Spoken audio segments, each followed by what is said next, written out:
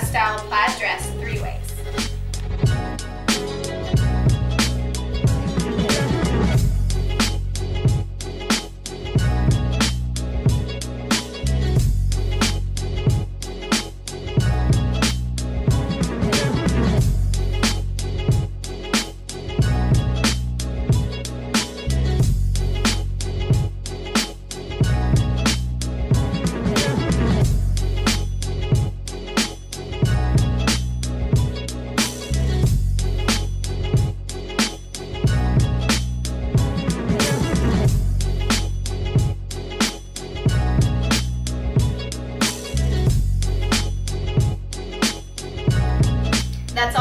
Thanks for watching. We'll see you next time.